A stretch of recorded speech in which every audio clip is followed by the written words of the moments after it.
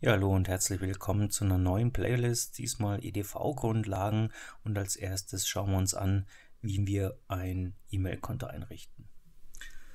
Ja, wie kommt man zu einer eigenen E-Mail-Adresse? Ich habe hier schon mal vier Seiten aufgemacht, gmx, dann web.de, dann von Google Gmail und von Microsoft Outlook.com.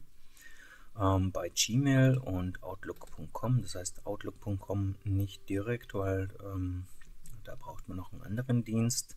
Hier ist es so cloudartig. Hier kann man seine Dokumente ähnlich wie bei der Dropbox entsprechend verwalten und sehr viel komfortabler damit umgehen als jetzt zum Beispiel bei Gmail oder web.de. Die haben zwar auch so einen Dokumentenbrowser, aber es ist hier bei äh, Gmail und bei Microsoft doch um einiges nochmal komfortabler.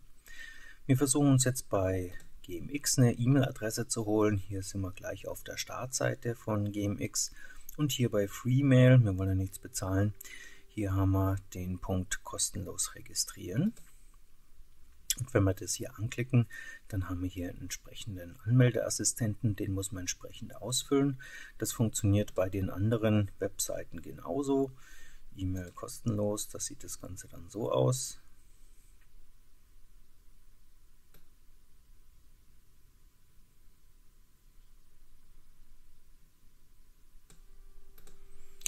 Bei Gmail steht hier Konto erstellen. Dann kommen wir hier auch zum entsprechenden äh, Eintrag. Und bei Outlook.com, ähm, hier kann man auch sagen, jetzt registrieren. Und dann kommt man zu diesem Anmeldevorgang. Gut, die schließen wir mal alle. Die brauchen wir jetzt mal nicht. Und wir machen das jetzt hier über gmx.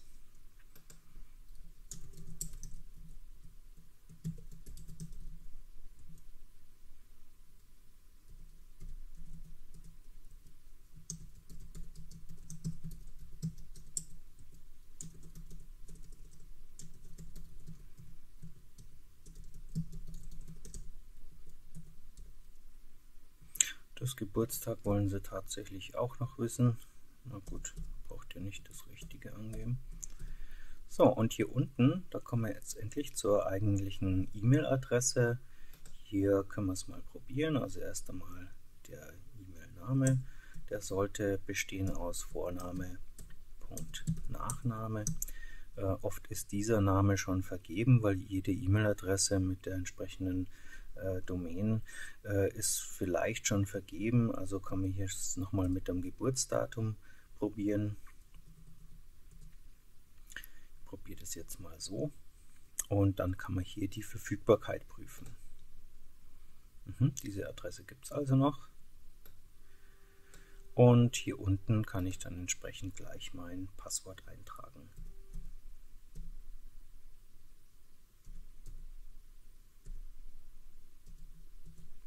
Hier wird auch gleich geprüft, wie stark dieses Passwort ist. Also man sollte kein einfaches wählen wie 1, 2, 3, 4, 5. Das kann man natürlich sehr leicht herausfinden und dann kann jemand anders an die E-Mails rankommen. Das sollte man natürlich vermeiden. Hier auch nicht den Fehler machen, zu sagen, okay, das Passwort, das kopiere ich da nach unten rein. Dann kann man nämlich nicht schauen, hat man sich jetzt vertippt, sondern hier wirklich nochmal eingeben. Und in diesem unteren Bereich kann man hier nochmal sagen, alternative E-Mail. Falls man sich nicht mehr an das Passwort erinnert, kann man hier eine andere E-Mail eingeben, dann bekommt man so einen Rücksetzungslink und damit kann man dann sein Passwort wiederherstellen. Hier gibt es auch äh, eine Geheimfrage, äh, Lieblingsfilm. Äh, man muss sich halt dann entsprechend auch äh, daran erinnern, was man hier eingegeben hat, weil sonst äh, bringt einen das dann nichts, wenn man sein Passwort wiederherstellen will und gibt hier alle möglichen Filme ein, kann sich nicht mehr erinnern, was man damals denn eingegeben hat. So, um die Anmeldung abzuschließen, muss man dieses Bild hier entziffern können. Das ist dann 7BE, wahrscheinlich 6B. Probieren wir es mal. Hier brauche ich nichts mehr, was ich auswählen möchte.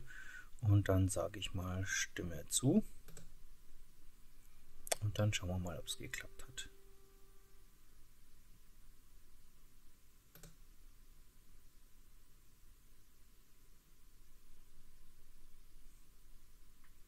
Wunderbar, es hat geklappt, der Anmeldevorgang.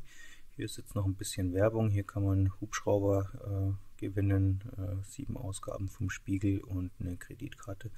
Das baue ich jetzt mal nicht und sage hier weiter ins Freemail-Postfach. So, ich habe auch gleich eine Kundennummer bekommen. Hier ist das E-Mail-Postfach.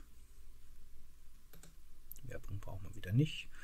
Und hier kann ich entsprechend meine E-Mails äh, verwalten. Ich kann auch hier entsprechend äh, neue Ordner anlegen.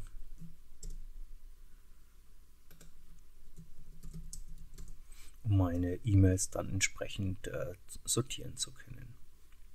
Im Adressbuch kann ich auch äh, Adressen entsprechend hinzufügen. Dann muss ich nicht entsprechend noch ähm, mir äh, jedes Mal die E-Mail-Adresse anlegen und ähm, kann gleich auf die, den jeweiligen Kontakt klicken und die E-Mail wird dann gleich entsprechend versendet. So, dann probieren wir es mal mit dem Ausloggen. Wunderbar. Und dann nochmal einloggen.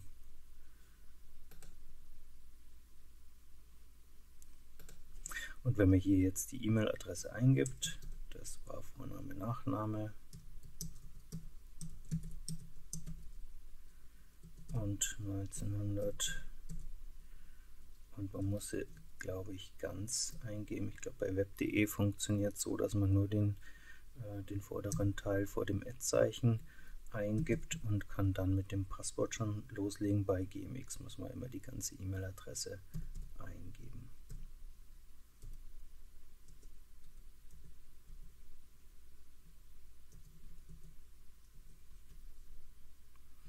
So, ich werde hier gefragt, ob ich mein Passwort hier speichern möchte. Da sage ich mal grundsätzlich immer Nein, weil ich weiß ja nicht, wer sich vielleicht sonst an dem PC hinsetzt.